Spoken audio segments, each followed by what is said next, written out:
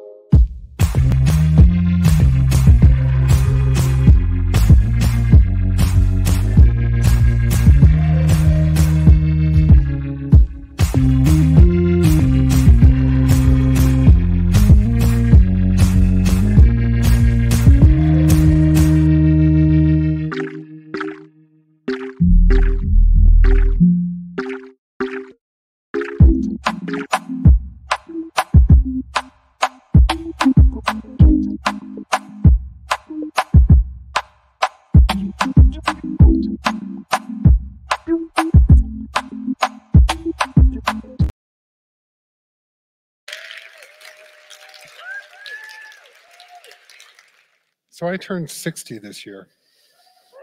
Oh, yeah, I. In the eyes of society, I'm old, washed up, over the hill. But I'm here to tell you I'm happier, I'm better at my job, and I'm more creative than I've been since I was a child. For the last 25 years, I've run an arts organization for people with disabilities. I've taught blind people how to take photographs, deaf people how to dance, and most recently started teaching people with Alzheimer's and dementia how to do graffiti. I spent a lot of time in elementary schools and nursing homes. If I go into an elementary school and I ask, how many of you feel you are creative? Every hand in the room will go up. Piles of paperwork and no time for strategic HR? Let Bob clear up your to do list. Say hi. And you know what? They're right. A study by NASA indicated that 98% of five year olds will test at the creative genius level. If you do the same test again for 10 year olds, the percentage drops to around 30. And if you do it again when children are 15, the percentage is right around 13. So I go into a corporate setting and I ask the same question How many of you feel you are creative? And very few hands in the room will go up. And you know what? They too are right. If you administer the same NASA test to adults, less than 2% of us will test at the creative genius level. So I started to ask myself, what happened? How do we go from 98% to 2%? And I think I know. I think very early on in our development, we all start confusing creativity with artistry. They're two very different things. And what I'd like to do tonight is talk to you about rediscovering the creative genius you were when you were five.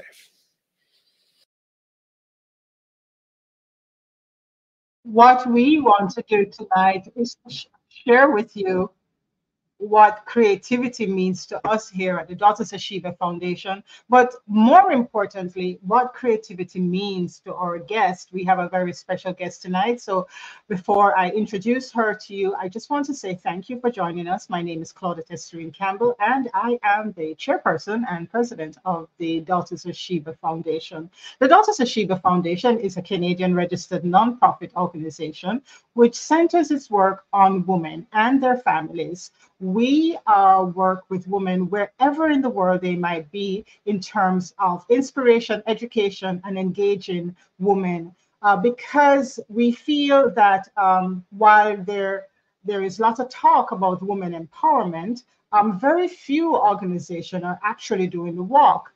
And um, by doing the work, we don't necessarily mean giving women money, but giving women the psychological, the mental, and the spiritual tools to change, transform their lives. This year, our theme is I am woman, creative, innovative, and resilient. And so this month, every month, we have a sub theme, and this month we are focusing on daring to dream. There is no bigger dreamer than our guest tonight. She has been on with us before in a different conversation, a conversation that had more to do with the body rather than dreaming. We she joined a panel that we were talking about sex and sexuality and and women not being afraid of of their own sexuality. So join me in welcoming our guest tonight. I will bring her on. Uh, she is best-selling author and poet Marlena Zen Johns. Hi, how are you again? Hi, I'm I'm doing fine. I'm doing well. How are you? I'm wonderful. I'm wonderful. As I as as we spoke before, I told you I'm on uh, I'm on a sabbatical. Um, let us call it, and um, so I'm resting, recuperating, rejuvenating, and um, stepping into my own creativity. so it's it's opportune that we're having this conversation tonight. First, let me apologize. We I was supposed to be joined by my two co well, I have three co-directors here at the of Sheba Foundation, and um, one of them is very silent, who happens to be my daughter. Um, the other two, Gloria and Clara were supposed to be joining me tonight. This program before used to be called a woman's prerogative. We decided to change the name and to a woman's perspective and to take more control of, of the presentation from a woman's perspective by having the directors of the foundation um, participate in these conversations with guests. Um, however, Gloria just returned from London, England, where she has been for several months um, visiting. And um, Gloria, in fact, I know she don't mind my saying this, Gloria is a recent survivor of um, breast cancer surgery. And um, so she was the one who came up with the theme for this year, um, creativity and resilience, because it was it's such a personal journey for her right now. Clara, I'm told, is mm. running a few minutes late, um, mm. and um, she will be joining us shortly, I hope. But in the meanwhile, then you and I will have our conversation. Um, as um, like I said, our perspective tonight is about creativity and how and how do how do we reclaim our creativity? And I know that you do a lot of work um, in terms of one's creativity, reclaiming your life after the breakup of relationships and so forth. So we can tackle it from from that perspective. But before I go there, I have to do my favorite thing. I think I'm not sure if I did it with you when um, we spoke the last time. Um, okay. Can you just share with, with with my audience and your friends who have joined us? They would know. Um, where not which? Don't tell me your street address, but what state are you in the United States? I'm in Texas. You're in Texas, okay. And have you lived there all of your life, or are you a recent migrant to Texas, meaning from some other state? I know you are U.S. born? I was born in Baton Rouge. I came to Texas when um, I was two, but I kind of went back and forth between my parents in Texas and my grandparents in Louisiana. And so I grew up in both places. So I spent, um, I guess you could say, half my childhood in both places. So both places has have good food. That's true. Very true. Which, which, leads me to my next question. Um, What's your favorite food on a Sunday afternoon? It really depends on my mood. Mm-hmm. Um, my favorite food used to be bread, but uh, I loved all kinds of different breads, especially artisan breads. But I've gotten into a, a, a meal delivery service called EveryPlate. So they send me four different menus every week. And so I found that a lot of things that I've never even heard of have become my favorite dishes. Oh, I'm okay. From scratch four times a week now. And and I'm just loving all the different flavors. So I couldn't tell you right now what my favorite food is because I've been You're exploring so, so many. I'm exploring. Yeah. I'm exploring so many different uh, types of food right now. Great. Okay, so for those of you who don't know, um, like I said, Zen is a, a, a best-selling author. She has uh, not one but five books. She's also a poet and a playwright. Um, we will talk a little bit about her books shortly, but um, in in the bio, um, Zen is described as living an adventurous life of raising twins, also teaching and touching lives through her poetry and um, she is a recipient, an honoree of the Congressional Award. What what was that awarded to you um, for? Well, um, when I started my business, my my first business was poetry, comedy, and music shows. And because people will come out for entertainment, you get a chance to partner with a lot of different causes. At least I did. Um, you know, so we would do like coat drives and you know, school supply drives, blanket drives. We did a lot of mental health work. So it was actually for the activism I was doing in the community around um, homelessness, domestic violence, um, dealing with just all kinds of issues and needs.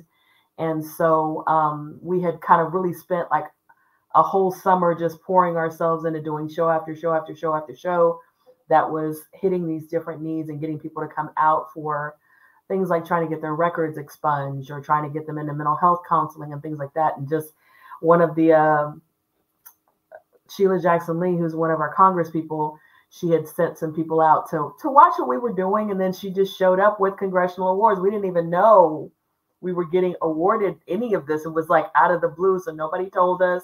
So it was a very big and wonderful surprise. You know, everyone's crying who's on stage, you know, because you just you're doing things because you see the need.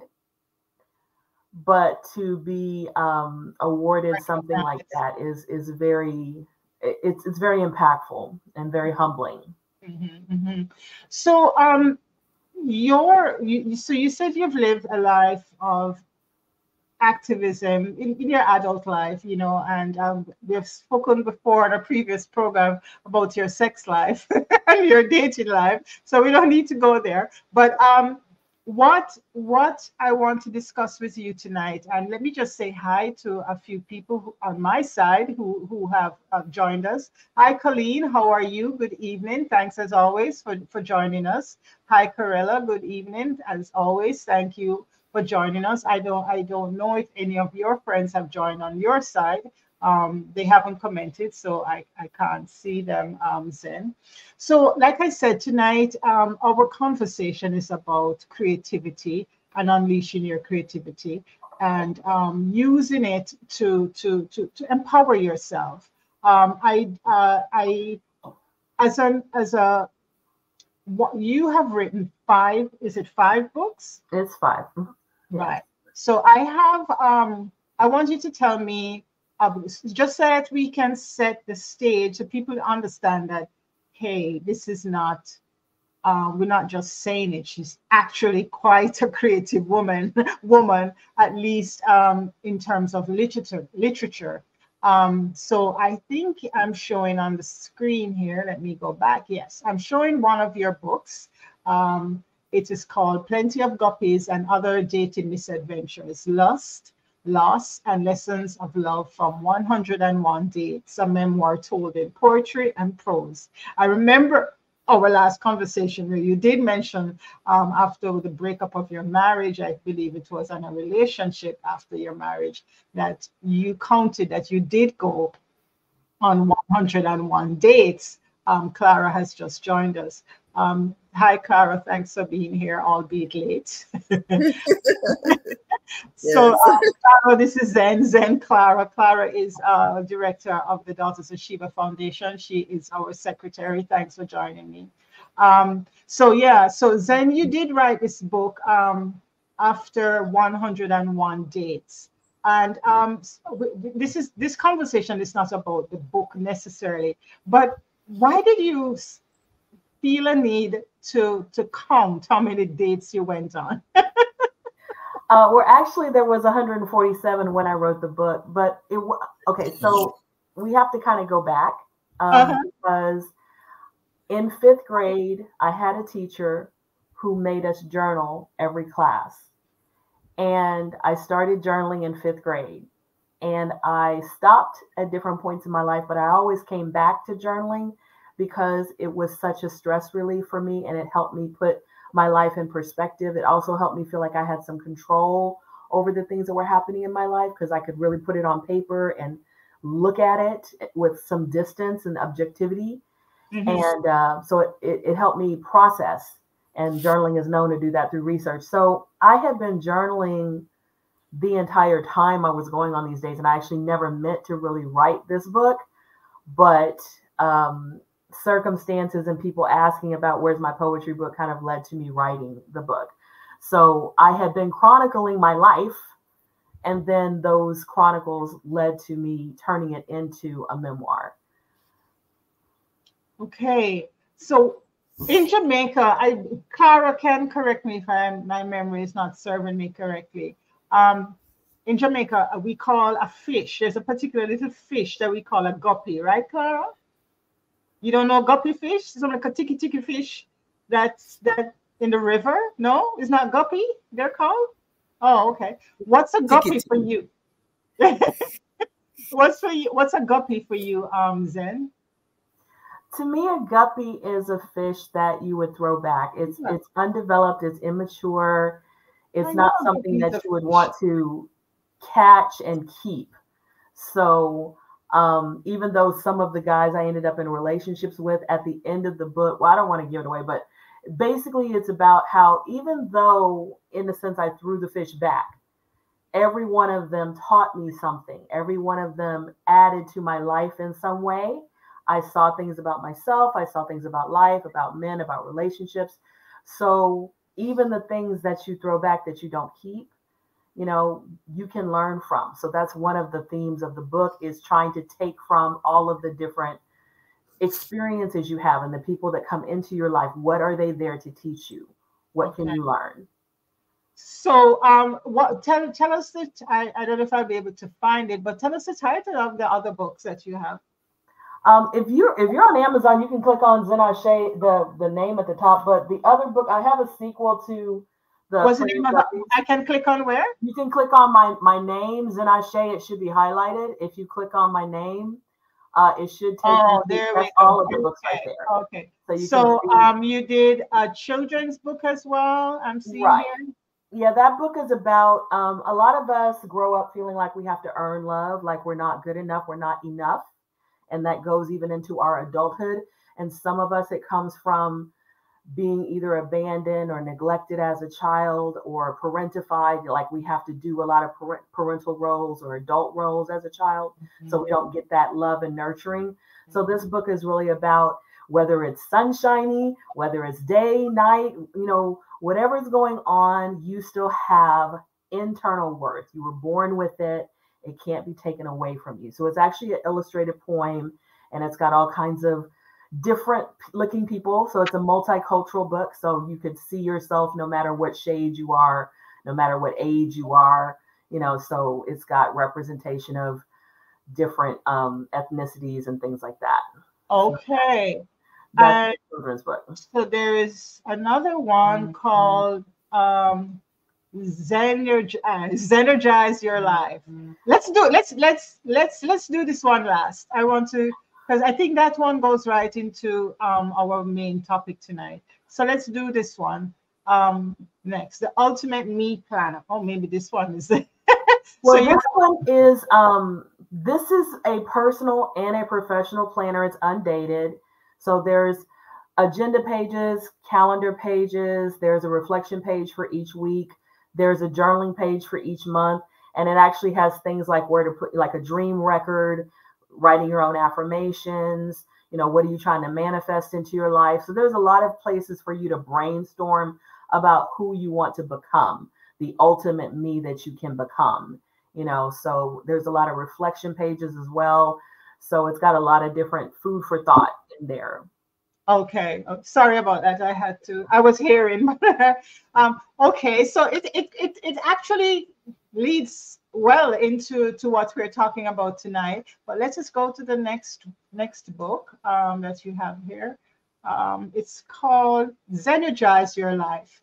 Um, tell us about this one and in your opinion, how does um, it says here in the description, embrace wellness with a unique customizable guided journal. But the embrace wellness, and that's what we're talking about. We are big here on the whole question of self-care.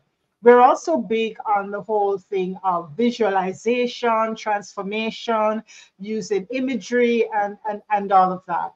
And we're actually next week having a private session with a, a, previous guest that we have for some members of the organization to, to, to go through that process, at least to learn how to, to go through the process. Now, I want you to tell me about the book, but I would like you to tie it into our conversation, unless Clara also has something to request of you with that. How does a woman um, do, do this with her life and and um, where she's at now. And I'm thinking a lot more about a woman who is middle aged, you know, 35 plus, because that's our audience. Um, a 35 plus woman, how can she energize her life? Well, this book ties in with creativity a lot because we were born creative, as your TED Talk said. When we were young, we had all these dreams and goals and visions of ourselves but we a lot of times put them on the shelf. And we didn't think that they were realistic. We didn't think that they were for us. We didn't believe in ourselves. So this is um, a place to go back and kind of grab some of those things. Um, it's 29 pages. It has uh, every page is devoted to a different self-development topic. The first topic is abundance so i think where you have to start is getting rid of a lack mentality. I don't have enough. I am not enough. There's not enough time. All of that's lack you know? So if you start with i live in an abundant universe. There are many opportunities for me and i can take whatever little bit of time i have and use it effectively. I think that that's where you can start. And just take even if it's five minutes 10 minutes three minutes start pouring into yourself. It could be through affirmations. In this in this guided journal has questions food for thought. It has places to put songs that really lift our spirits because we have a lot of things that minister to us but we don't always use them as effectively as we could. So are you are you do you have a playlist to pump yourself up? Some of us have that when we go to the gym but we don't have that when we're feeling down. We don't have that when we're trying to encourage ourselves to reach a goal you know um, a movie movies that relate to different topics that you could watch to kind of encourage yourself maybe learn from because there are plenty of movies about people who overcome and you could watch that and boost yourself up. I already talked about affirmations. There's little mini vision boards and they're role models. Who are you looking at to say, okay, if they did it, I can do it too? So there's places to put pictures of role models in there um, to set goals. So those are some things. Just even even if you just take one step a week, the thing about change is the the research says if you change even 10%, your life can be completely different. Really? So it's, it's and if you look at the hold on, hold on. when when you said hmm? you said if you change 10%, your life can be completely different. Can you explain the 10% change? Okay. There is a book, and I cannot think of the name of it, but it's written actually on that entire principle.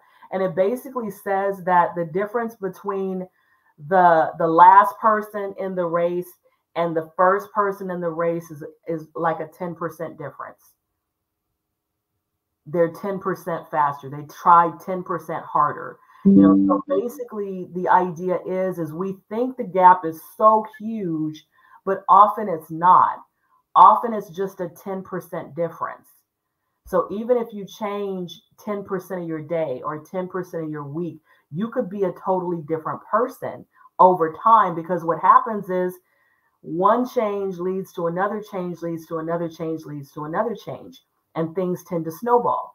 And if you think about even in nature, a snowball can begin as a pebble that just begins to roll and it gets bigger and bigger and bigger. So that picture on the front, the butterfly effect, mm-hmm.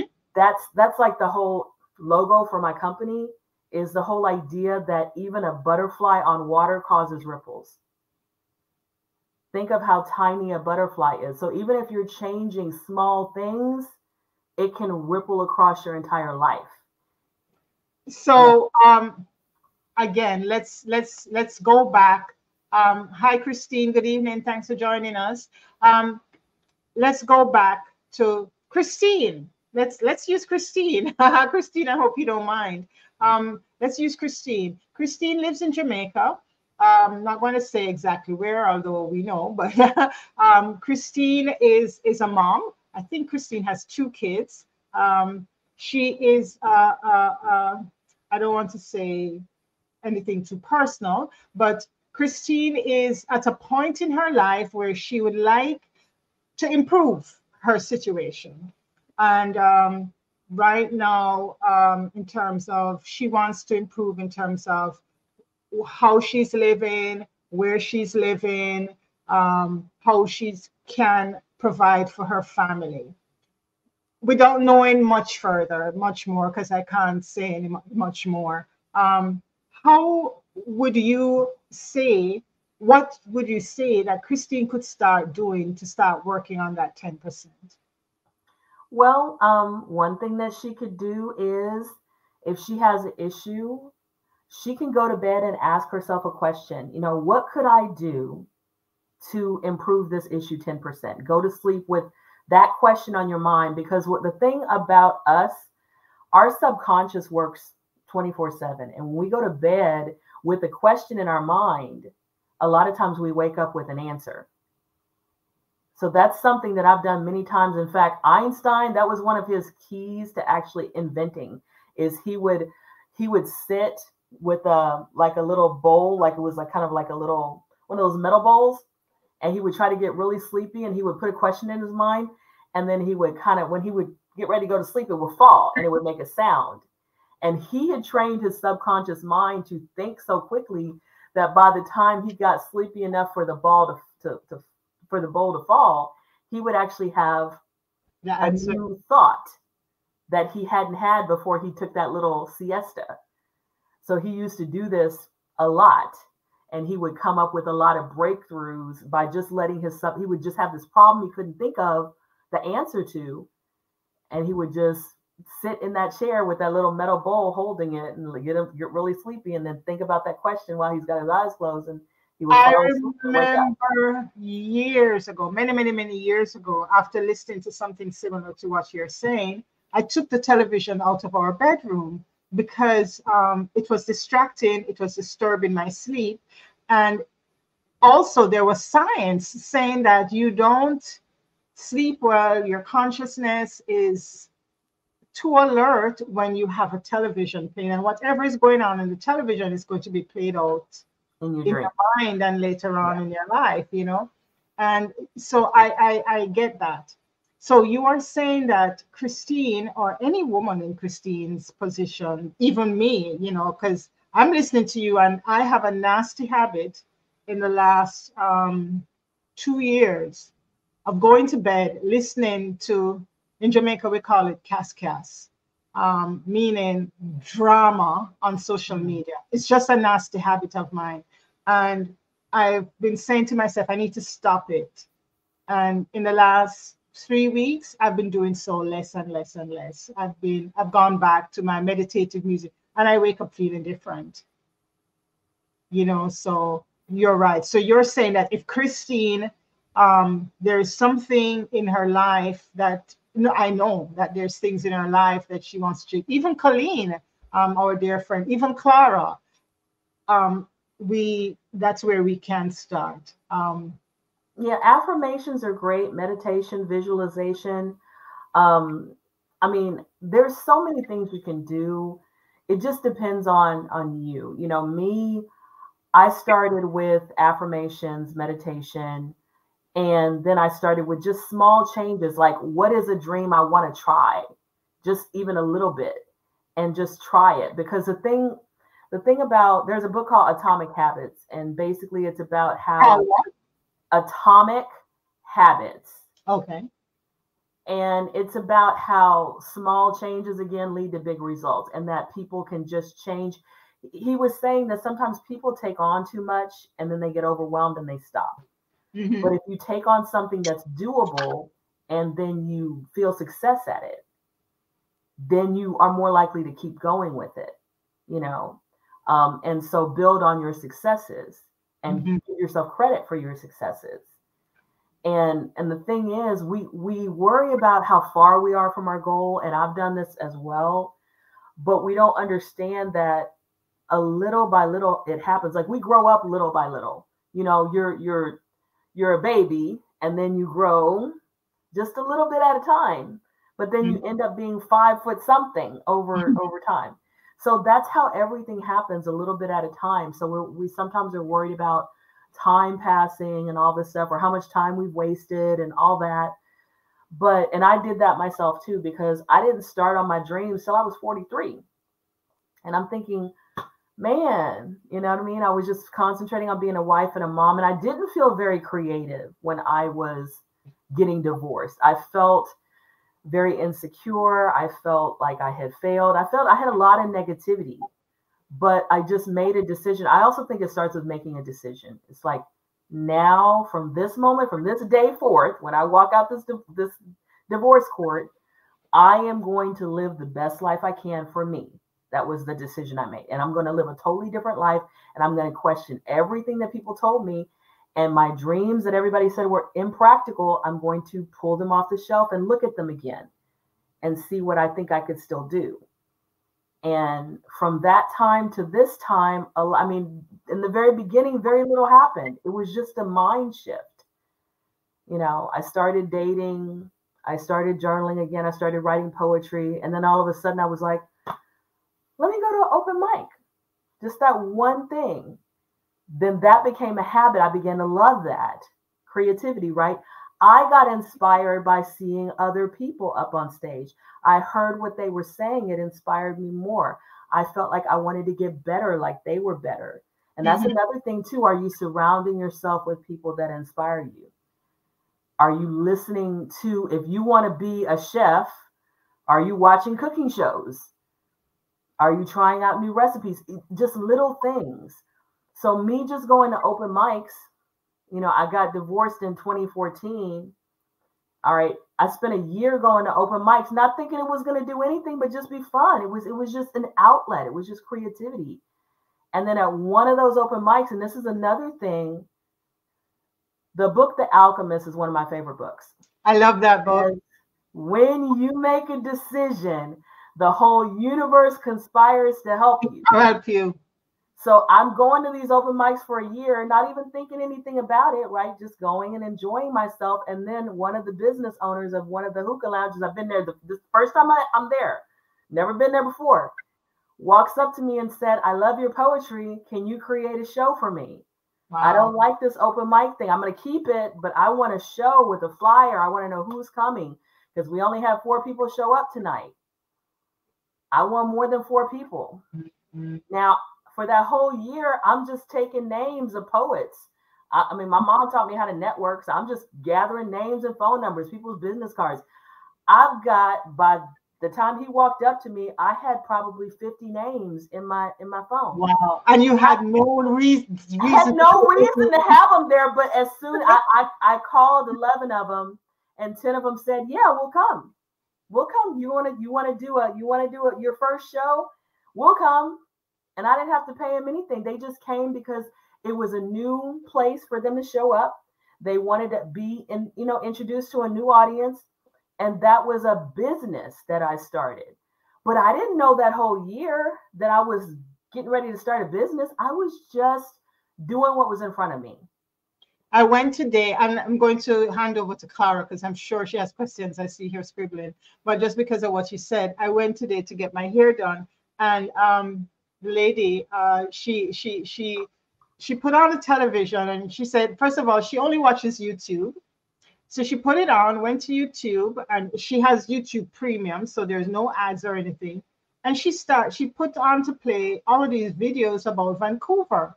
And she said to me, Don't think I'm crazy, but I want to go to Vancouver. I want to live in Vancouver. I've never been there, but I want to live there. So every day. That's what she saturates her. And she's going to Vancouver in a few weeks.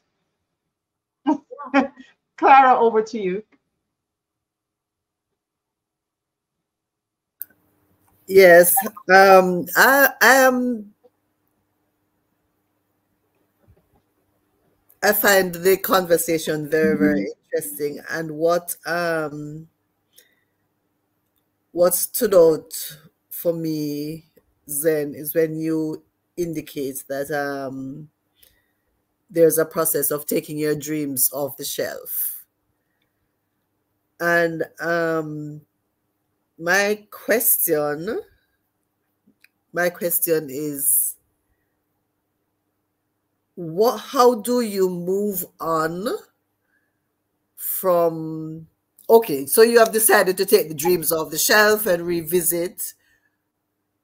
What do you do when the parameters in meeting those goals may have shifted over time? How do you regroup? Because now you're in a new place, a new phase, and you said, okay, I couldn't pursue that, or I had the dream of becoming that.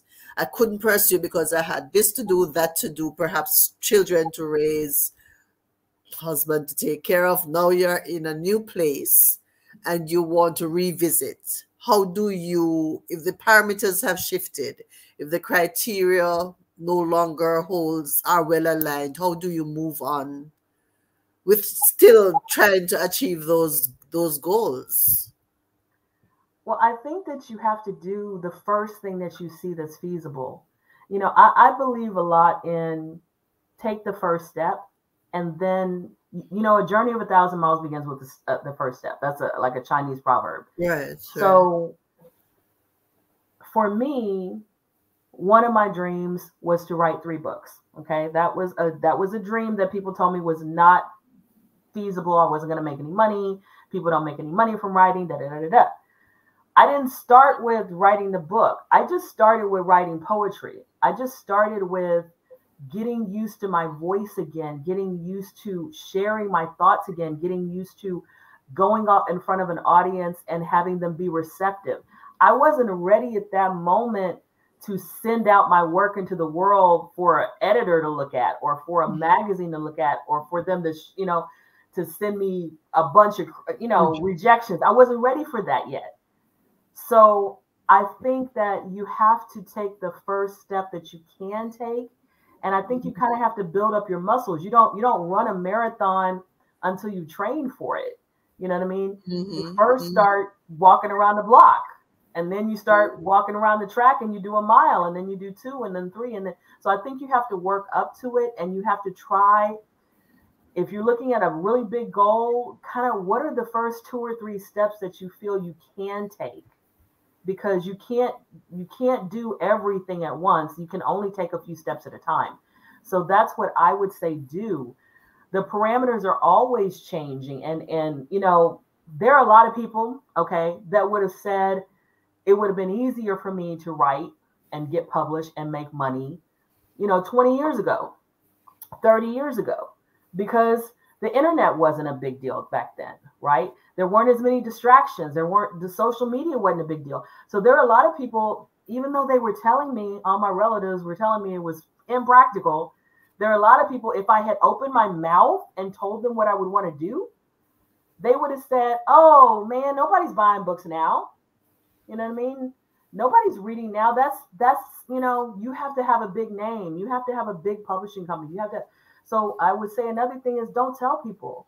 Don't mm-hmm. tell people just take the first few steps. Don't tell anybody because they're going to try to talk you out of it. You finally got to the point where you want to take your dreams off the shelf. Why is that so? Why is that so, um, Zen? In your when, when you have achieved personal experience, why, why people want to talk you out of your dreams?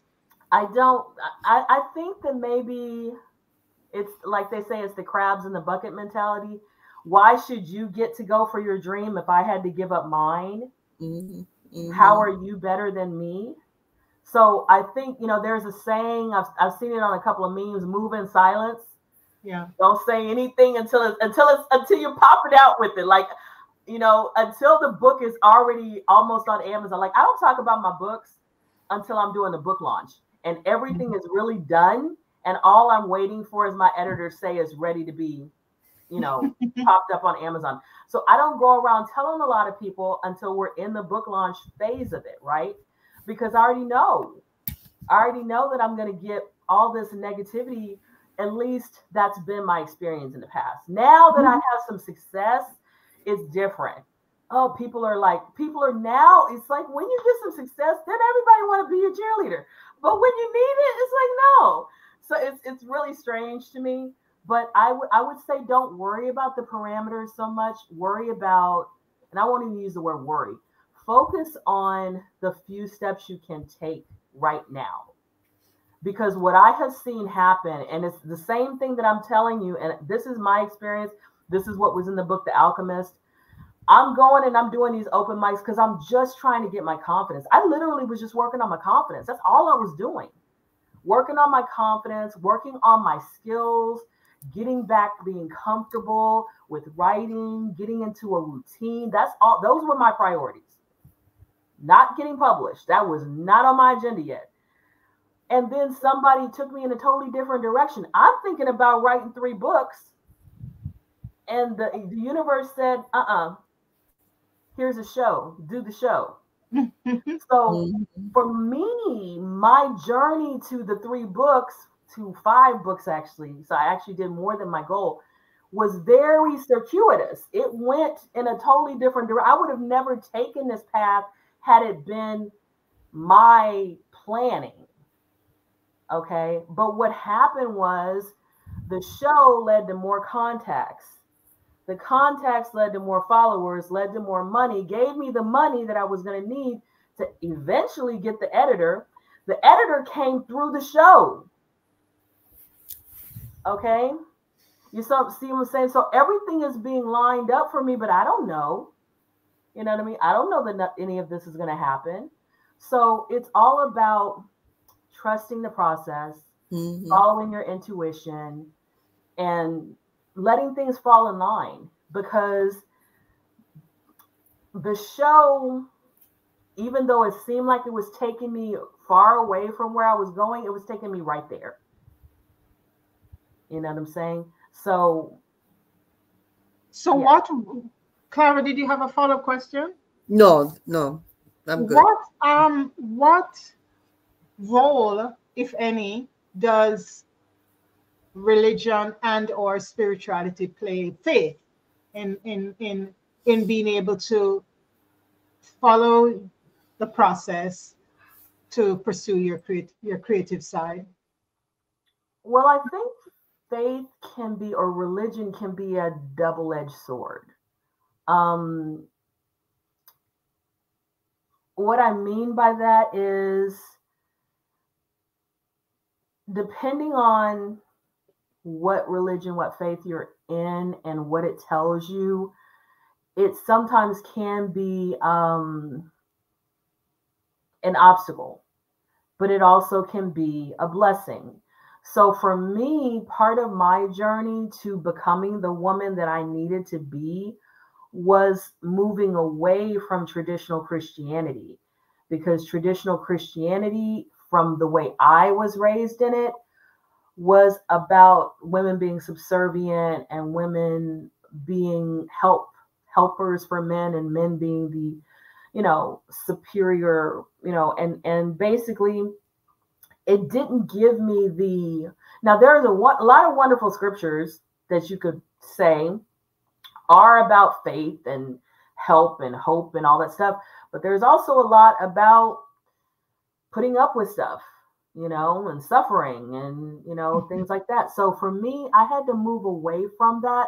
My faith actually got a lot stronger when I moved away from tr- traditional Christianity because I was able to just trust in, as some people say, the universe or source or God or whatever you want to call it. I was able to trust in the process. And it wasn't so much about, is this God's will? I don't know if I, you know, to me, there was a lot of doubt and a lot of insecurity in the faith that I was raised in. It was a lot of maybe I should be fighting my flesh. Maybe I should be crucifying my flesh. Is this me? Is this my will? You know, so I didn't need all of those kinds of doubts. I just didn't need all of that. To me, that was a burden. I really just I, I really just began to believe that look, I was put here with a gift. I'm supposed to use this gift and I'm not going to complicate it with all this dogma that people have tried to, to feed me.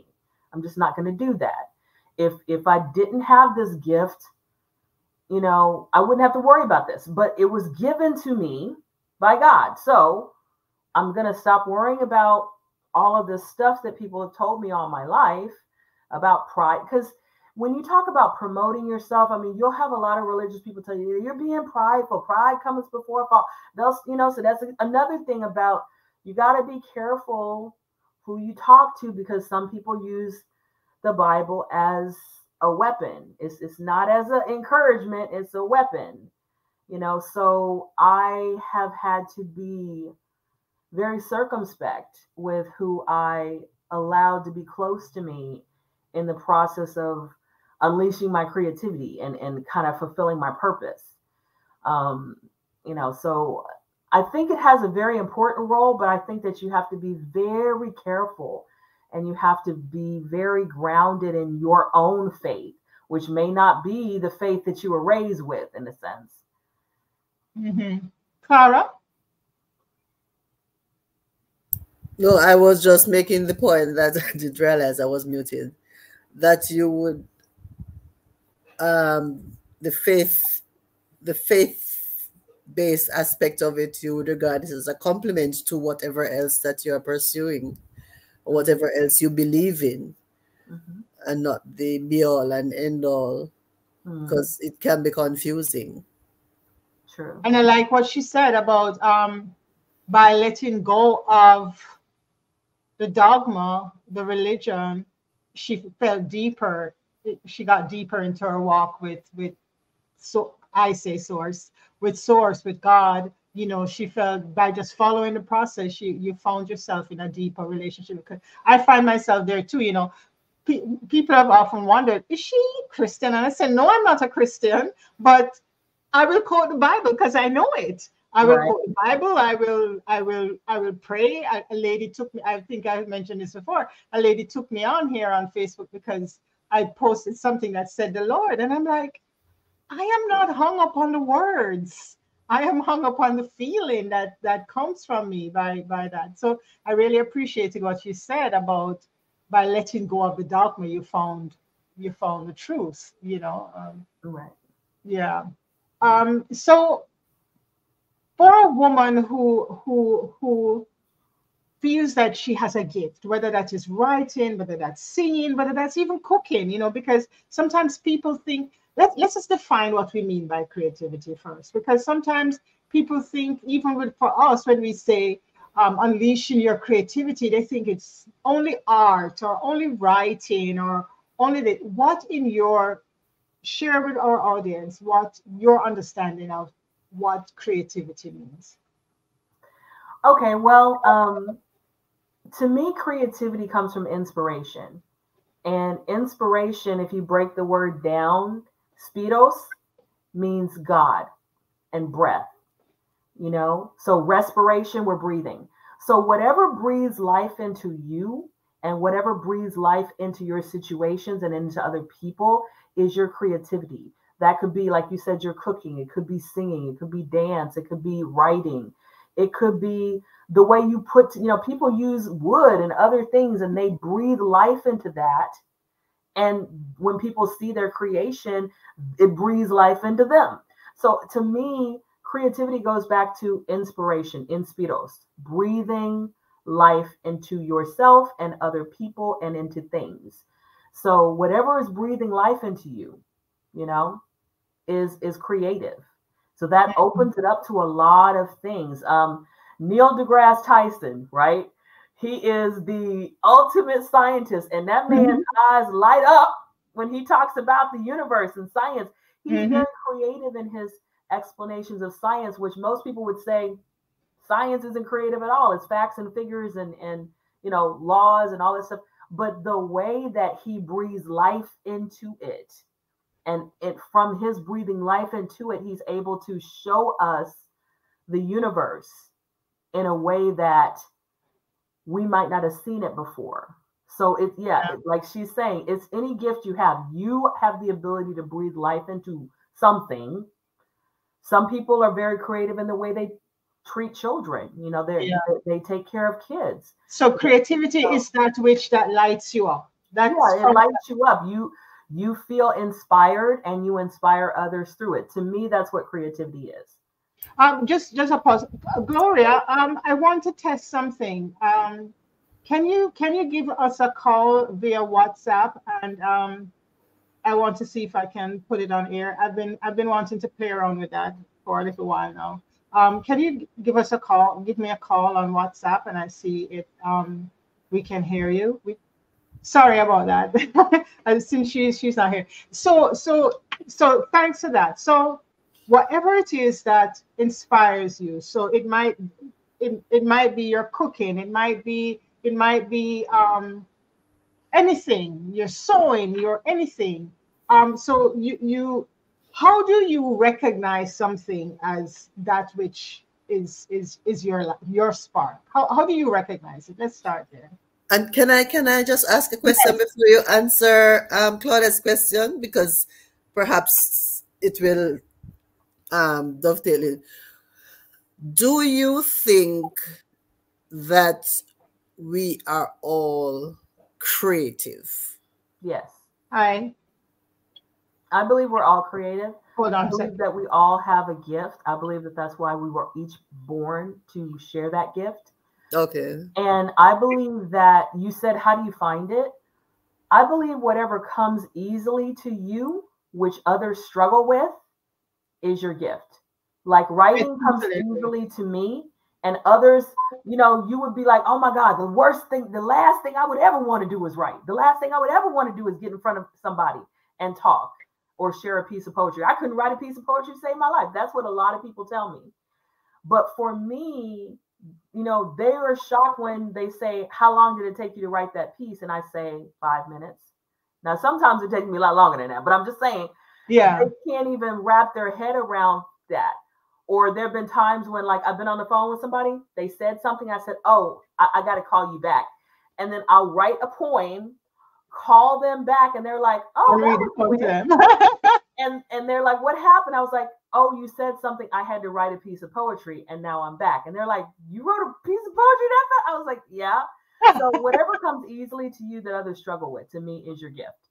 Is your one second. I just want to see if um Gloria, Gloria, Gloria. Yes. Um, can you guys hear her? Yes, I can hear her. You can hear. Clara, can you hear her? Yes, I can hear. Gloria, I mean. Yes, I can. Gloria, keep talking. Ask a question. Should have any. Gloria, go ahead. Ask a question. Oh, hold on, hold on, hold on. Go ahead again, Gloria. What is empowerment? Did you hear her? No, I didn't hear her. Go again, Gloria. I don't know what I'm doing wrong. Go again, Gloria. What is what does empowerment mean to you? What does a poem mean to me? What does empowerment mean to oh, you? empowerment. Um, to me, empowerment means that whatever has been holding you back, you're getting it off of you. You are literally, I, I say for my podcast that I want to replace limitations with possibilities. So to me, empowerment is when you replace limitations with possibilities. So whatever gets you to that point where you're not feeling confined and limited, but you're feeling like you have possibilities, you have choices. Okay. So you guys are hearing her okay. I've, I've been wanting to play with this for some time. yeah, I heard her. I heard that question. You heard her. Okay. All right. Thanks, Gloria. so so we figured out well we explained what is creativity. So this lady's in her kitchen and um she she let's i'm going to stick with christine. I hope she doesn't mind. Um christine is at home cooking and her she she has a young child and her child particularly love this thing that she makes. And she's really good at making these kinds of things or our friend Claudette. Claudette is fabulous with baking and catering and stuff like that, and she does it for free. Um, how would a, a woman like that change it from not change, but expand it from just being a hobby and make it become her life as you have done? I think everyone has to decide on their journey. Um, if you're doing something for free and people are enjoying it, you could start with asking them, Hey, I'm thinking about, you know, doing this as a side hustle. How much would you pay me for this? You know, ask one person and see what they say. See if they say, Oh, I would pay you $25. I'd pay you $20. I'd pay you whatever. Um, you know, because a lot of times people, when they know, you know, it, and especially if you could say, Hey, I'm trying to get, I don't know, some summer school money from my kid or whatever, you know what I'm saying? They would, they would, they, they're a lot more willing. So you could start there. You could start with a, a test market, like maybe, um, you know, you have a neighborhood meeting or something and you bring some little whatevers and you say, hey, you know, today this is such and such amount. You know what I mean? Because a lot of people start like that. A lot of people start with five dollars, you know, charging five dollars, charging ten. Look at Jeff. Look at what's his name, Bezos. Didn't he start Amazon in a garage? Yeah, a lot of people start where they are. You know, they start where they are and and so i would just start i would just take a chance on yourself and start with where you are um and then if if people really enjoy it and they you know come back then you can begin to try to plan how you want to do more of that um for me i didn't consider myself a business person mm-hmm. so I knew I had a business, but um, I didn't really want to do the business side of it. So the business side of it has been uh, a journey for me, getting all the ducks in a row, and I'm still doing that. But um, I think everybody can. Some people just take to it better than others, and other people, you know, it's more difficult. So I, I think you just start where you are and start and, where you are. Okay. Yeah, and then and and you also have to keep it in a perspective. Like, okay, how much money am I spending on this hobby, this thing that I do, and what would make it worthwhile for me to even consider it as a side hustle or a business or whatever. You know what I mean? Um, and have even if you have a small goal to start with, like if I made a hundred dollars a month, that would be really amazing for me mm-hmm. you know, or whatever. You know, you start there, and then when you meet that goal, make a bigger goal. You know, and do something, do something, expand it. You know, so yeah, yeah. Clara, you have any follow up? Oh no, I'm just making my notes. I, that's why I thought you had something to I, I, I, can see that. So so start where you are. Um yes. so um the, the I just the, wrote that down. no, because I, I, will also say this: I don't know anything about where you live, but in, in America, as far as in, in in Jamaica. So in America, if you're running a home-based business, you can write off a percentage. Yeah, same thing here. So for me, even when I wasn't making much money in the beginning, the tax savings ended up being about $5,000 a year. Just the tax savings on being able to write off a part of my water, a part of my lights, a part of my mortgage, a part of other things that I, you know I'm saying? Just that by itself, mm-hmm. um, in a sense, was money I got back at, you know, when I filed my taxes. So there's different ways you can do it. Um, now you have to keep receipts and you have, you know I'm saying? You have to have certain things in place, but um, there's there's even if you're not making a lot of money, there's tax benefits, at least in the United States, to having a home base. We, we have the same thing in Canada. Um, I don't know if it's if that's true in Jamaica or elsewhere where our audience are. Um, Cara, can you home based business in Jamaica? Can you write it out? A part of it. Clara. Yeah, I'm not familiar with that. I, am okay. not familiar with that. Okay, okay. Um, so so you know, I, I love this conversation because we have touched on the the what for some people might seem as um some esoteric question, you know, of creativity, you know, and it's all up in the air. And as I think it was Gloria who said earlier on that um, people always associate the word creativity with arts, you know, but creativity can be cooking some good cornmeal dumpling. You know, it, it creativity can be anything. Um, as as you said, um, Zen, your the creativity is the thing that inspires you, that makes it. I get up at three o'clock every morning, and it's not because there are nails in my bed, but because I just can't wait to come to the computer and put stuff together. You know, um, I just love doing that. You know, like when when you said this morning, when you said earlier about writing, I love to write, you know, and people have always asked me, when are you going to write books, you know, but I haven't, that's not the kind of writing that I'm into, you know. Um, and as you also said earlier, Zen, about things coming around, you know, I started out doing speech writing for politicians, and now I'm doing this, you know, I just love doing it. So your creativity comes in various forms, and um, it's for you to identify it. And as we said, you identify it by what lights you up, that what, what inspires you. So having felt that light, felt that spark, is then to go to the next step to see how can I make this into something more than just something that's in my heart, you know. And what I got from you is that it doesn't have to be about making money. At least it shouldn't be about making money to start. It's about how do I express myself? Like you said, you used to just go to the club just to to listen and to learn and to see what's happening and to meet people. And then it became, then the universe opens itself up. Um, that's the process, correct? Then we get on to the networking just by going right. to the club and meeting people. Right. Yeah. Yeah.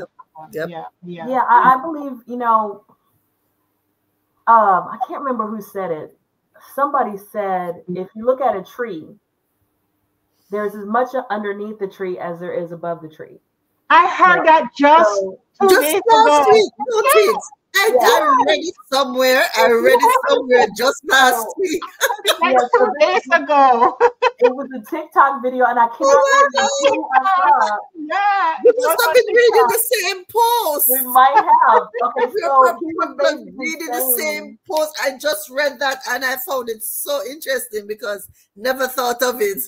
yes. Just so, last week. So basically, he was saying that when you're just seeing the little green shoots come up, yes, there's so much underneath, and basically yes. the tree is going like this. So everything that I was doing in the very beginning, when I was just networking, I was learning, I was building my confidence, I was getting to know my voice, I was getting comfortable with writing again, I was trying out different writing styles. I was pulling from my past and I was alchemizing it, basically turning the pain of my divorce and the pain of different things that happened into art. All of that I'm doing, that's the roots that were going down. And then the show came up. and yeah. then the show led to meeting an editor, you know what I mean? And having her edit my books later, but that was years later. So, but all of that stuff I was doing, it wasn't for nothing. I was actually becoming the person. And that's a whole nother thing you okay the person i am now is not the person i was when i walked out of that courthouse and got divorced. That's a totally different person. Just like if you're looking at a tree that sapling is very different from that full grown oak. They don't even look anything alike. We know that they're both oaks but the maturity the development the fullness all of those things are very different. So what people don't understand, I think, they're expecting to take this me that I am today and do all this stuff that I want to do with my goals. But this is not the you that's going to do that stuff. You're going to become a new you as you grow, just like that tree is going to become. So now, when that oak tree is a huge oak tree, you can put a swing on that oak tree and it can hold it up. But you can't put a swing on a sapling, it's not even big enough. Yeah. You know, you could build a tree house in that big oak tree, and you could actually stand in that tree house with a couple people in there. And it can support it. So that tree can support the dreams that we're talking about, Mhm. but the sapling cannot. So if you're looking at yourself and you're a sapling right now, you got to give yourself time to develop into the person that can actually do those things. And you develop along the way. You develop when you take those risks. You develop when you get up when you don't feel like it and you keep going for your dreams. You develop when you open your mouth and you were scared to open your mouth, but you talk to somebody. You network. You take a class. You know what I'm saying? You submit a proposal. All of that stuff is part of that becoming the tree. And then eventually the stuff that used to scare the mess out you, like, okay, now I'm not worried about sending out queries. Okay. It doesn't bother me. But but 2014 me was like, oh no, I don't want to get rejected. No. but this is 2024 me. So now if you say no, I'll just go to somebody else. Yeah. It doesn't, I, am not even worried. I, this is the farthest thing from my mind to be worried about if I send out a piece and it gets, gets rejected. I'm not worried about it. Not at all. So that's another thing that people have to realize you become different.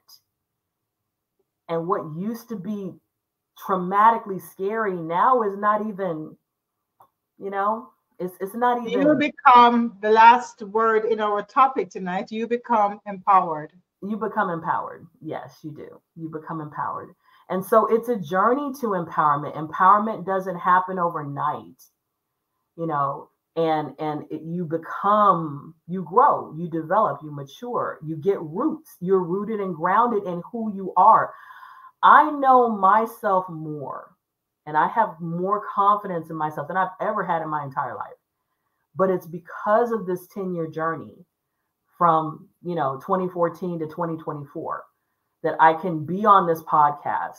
I used to be the person that never even got in front of the camera when i first was doing shows. I didn't even want you to take pictures of me like oh, I don't want to. No, no.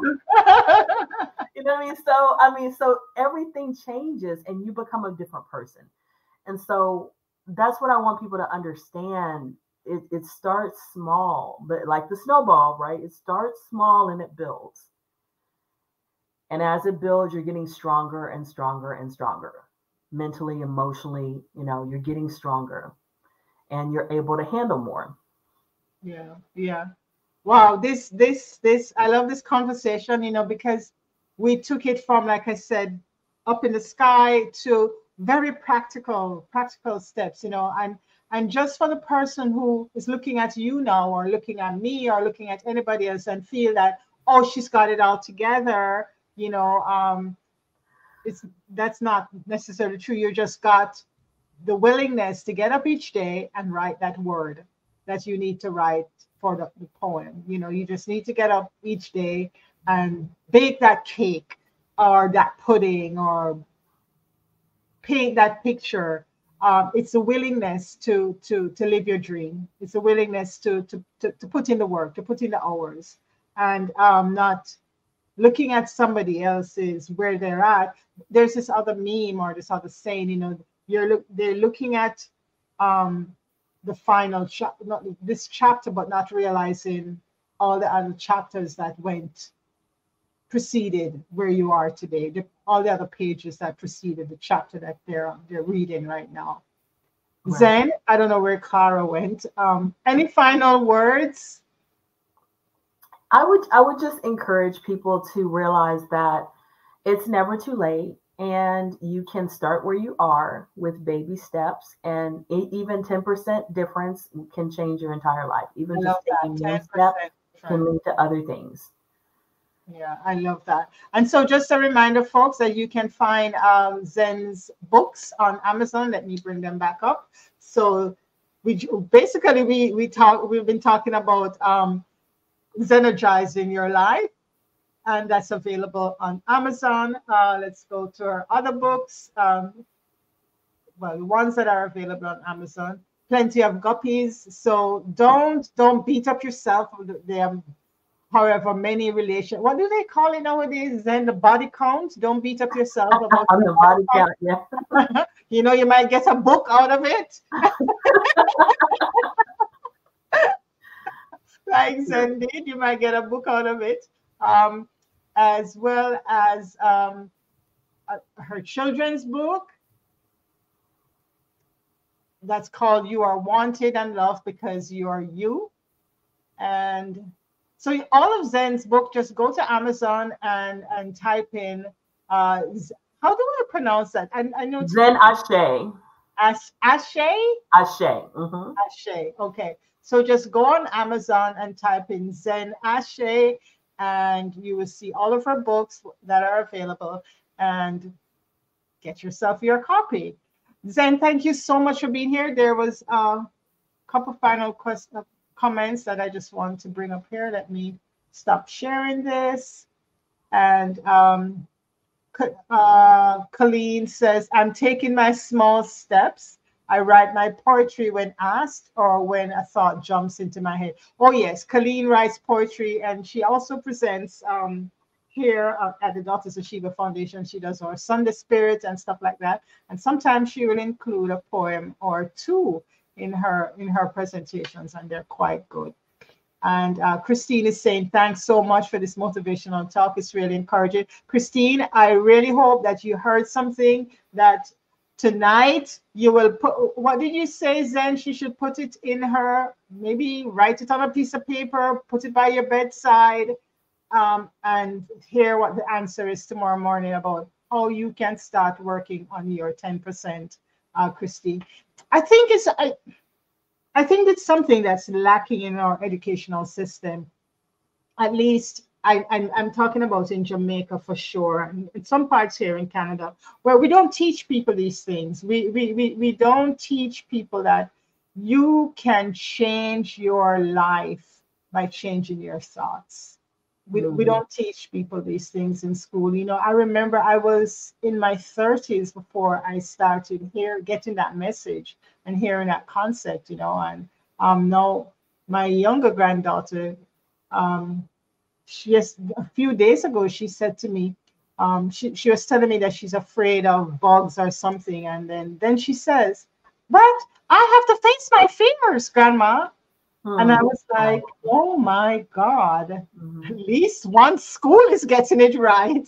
Mm. You know, hmm. we need to teach this kind of thing more. And this is why here at the of Sheba Foundation, we are so focused not on the drama, but on these kind of messages. Having people like you on Zen, you know, um, we don't have hundreds of thousands of, of viewers, but we we are growing uh, the last time you were here, I, I don't know if I told you this then, the last time you were here, we had just under 4K followers.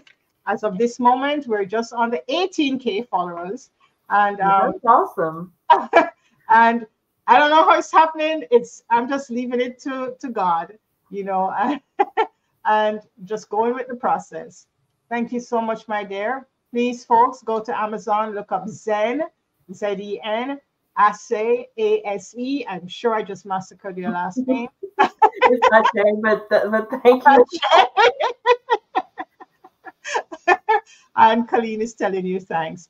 Thanks again, everybody, for being here. Make sure to join us um, on, well, join me on Saturday for another inspirational conversation. This time, we'll be having a dear lady by the name of Erin. She's also an author and Erin will be joining me for a long bench chat on Saturday afternoon at well for me it's afternoon for guys in you guys on the east east coast it will be 6 p.m eastern standard time 5 p.m in jamaica i'll be having a chat with erin again on the whole question of overcoming overcoming things in life that we as women um, go through and how you can turn that around and make magic thank you, Zen. Again, thank you for for for joining me. Thank you for for always saying yes. And you know, I'm going to be. Maybe I ask you one day to do a Sunday Spirit for us and mm. include your poems in that. That would be nice because should have asked you to read, read a couple poems for us tonight. But you know, there's always another time, another opportunity to do that. Thank you so much Thank for being. Thank you for having me. And uh, saying, I don't know where Clara disappeared to. So I am going to kick her out of my studio and, and close this off. Thanks, everybody. See you on um, on Saturday afternoon. Bye-bye. Bye-bye. Bye-bye.